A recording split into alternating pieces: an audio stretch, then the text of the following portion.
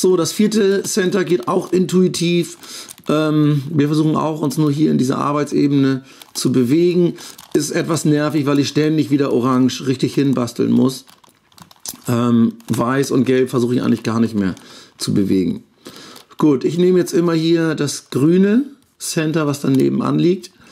Ähm, einfach weil ich das nervig finde, nachher mit diesen beiden Centern hier zu arbeiten. Deswegen nehme ich immer das nebenanliegende und habe zum Schluss dann zwei benachbarte Center, mit denen ich sehr leicht arbeiten kann.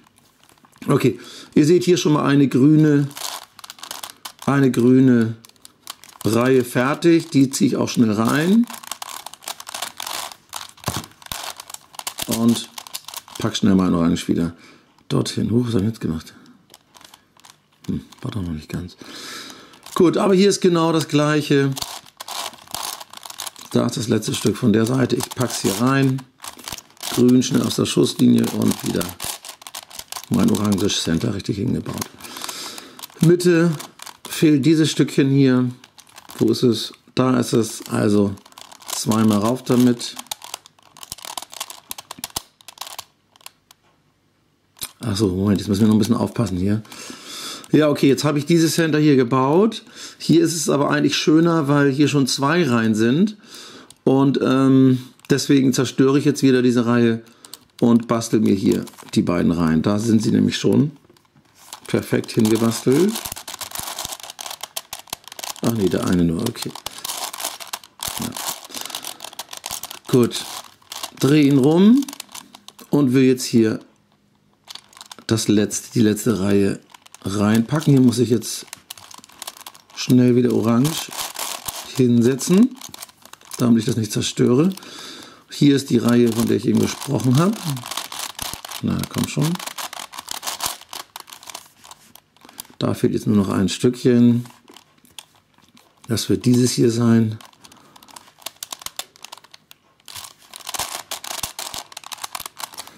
Setze ich runter, kommt aus der Schusslinie raus. Orange wieder rein.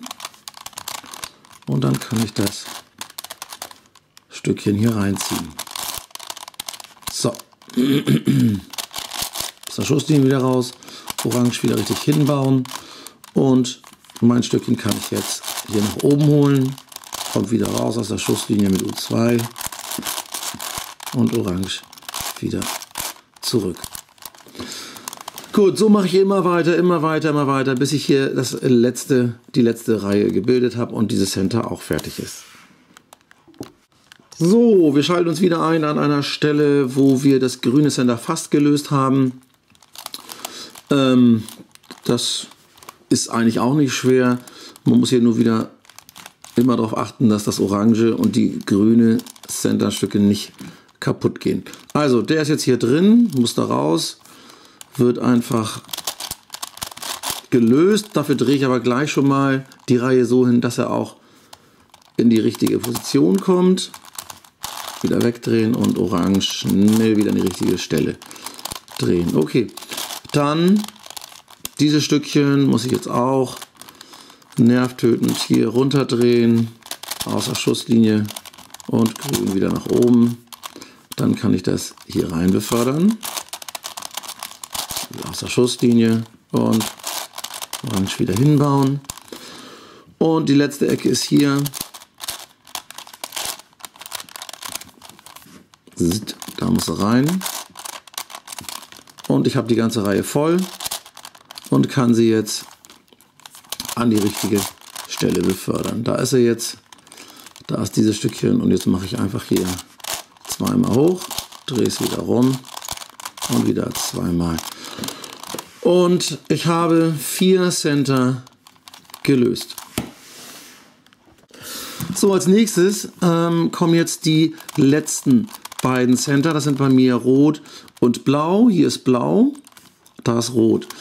Ähm, als erstes versuche ich einfach mal so viele Teile wie möglich ähm, reinzubringen und rein auszutauschen, in denen ich, wenn hier mehr blaue sind, packe ich sie in diese auf dieses Center und wenn hier mal rote sind, packe ich sie in dieses Center. Zum Beispiel habe ich jetzt hier drei blaue in einer Reihe und hier drei rote. Es bietet sich also wunderbar an, die miteinander zu vertauschen.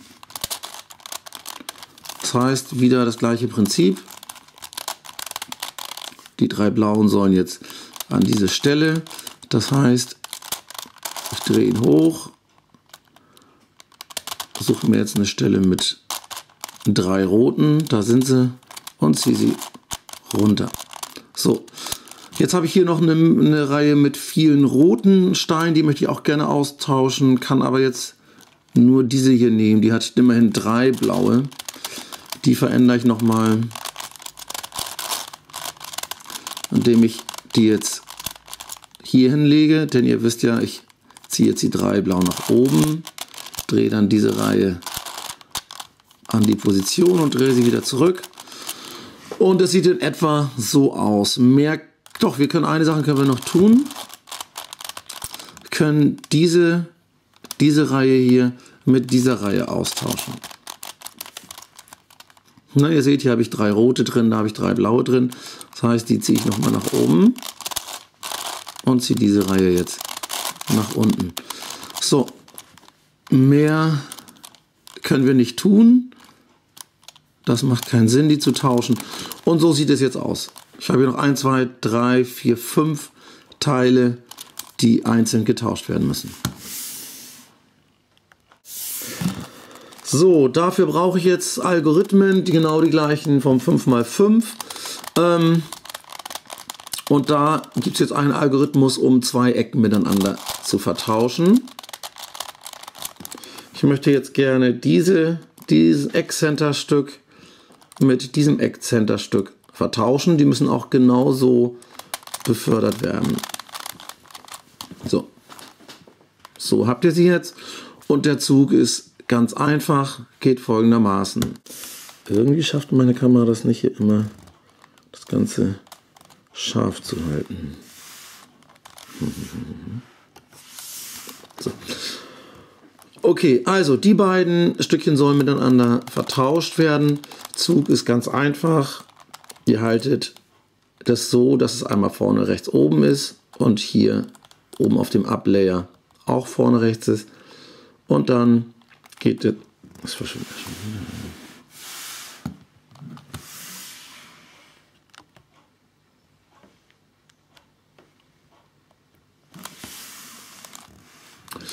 So, der Move ist R, U, R Strich, U, R, U2 und R Strich. Und ihr seht, wir haben na, komm schon. Und ihr seht, wir haben die beiden Stücke miteinander vertauscht. Hier ist noch eins. Das drehe ich jetzt in die richtige Position. Ich habe die gerne hier immer hier oben rechts. Linkshänder können es natürlich auch hier an dieser Seite machen. So, die beiden Stückchen miteinander vertauschen. Move ist klar. R, U, R U, R U2 und R' und die beiden Teile sind miteinander vertauscht. Jetzt haben wir alle Ecken richtig vor diesem Center-Stück und wir kümmern uns um die anderen Teile. So, hier kommt eine wunderbare Geschichte, kennt ihr noch vom 5x5, der sogenannte dynamische Algorithmus. Das heißt, hier kann ich nicht mehr mit R und U und sowas arbeiten, weil ähm, sich der Zug jeweils verändert. Das hängt immer mit der Position dieser Teile zusammen. Aber wenn ich sie jetzt vertauschen will, müssen die Stücke genau an derselben Position liegen wie das andere. Das heißt, ich will jetzt die beiden Stückchen hier miteinander vertauschen, dann müssen sie auch genau an derselben Stelle sein. Zweite Reihe von oben, wenn ich die nicht mitzähle. Zweite Reihe von oben ganz links. Zweite Reihe von oben ganz links. Okay, also ich halte ihn so, dass das eine Stück direkt vorne ist und das andere hier oben. Und dann hm, sage ich immer nur down over, ähm, einfach weil dieser Algorithmus kein festes R und L hat. Okay, gut, also down und dazu nehme ich jetzt dieses Stückchen und setze es hier in diese Reihe, wo das alte Stück war. Also down und over, das heißt hier kommt dieses F, das kann ich noch so nennen, over. Jetzt nehme ich dieses Teil hier down, damit ich hier sowas wie so ein na, bisschen schiefes R habe, äh, T habe meine ich. Das will ich immer haben. So, down habe ich gemacht. Wieder over, zurück, also F' in diesem Fall. Und jetzt setze ich den hier oben rein, ab und over in diese Richtung und ab. Und ihr seht, wir haben die beiden Teile vertauscht und es sind nur noch zwei miteinander zu vertauschen.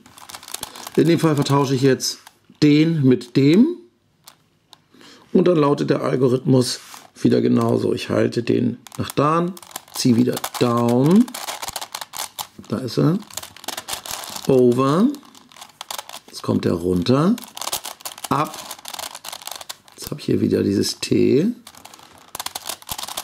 oder Kreuz, over, setze den wieder hoch, ab, over, ab. Und wir haben nur noch ein einziges kleines Pupsstückchen. Das setze ich hier rein. Ihr könntet das Ganze auch hier machen und da oder da und da ist vollkommen egal. Wichtig ist, dass ihr euch an diese Regeln mit diesem Kreuz, dem stilisierten Kreuz haltet. Also, die beiden müssen vertauscht werden. Der mit dem. Down. Und jetzt kann man das besonders schön sehen. Da ist er jetzt. Over. Der geht natürlich rein, damit er nachher voll ist und eine Reihe bildet. Down. So muss es aussehen in etwa. Over. Hier jetzt F' an dieser Stelle. Up. Und ihr seht, da haben wir schon Over. Up. Und alle Center sind richtig gelöst.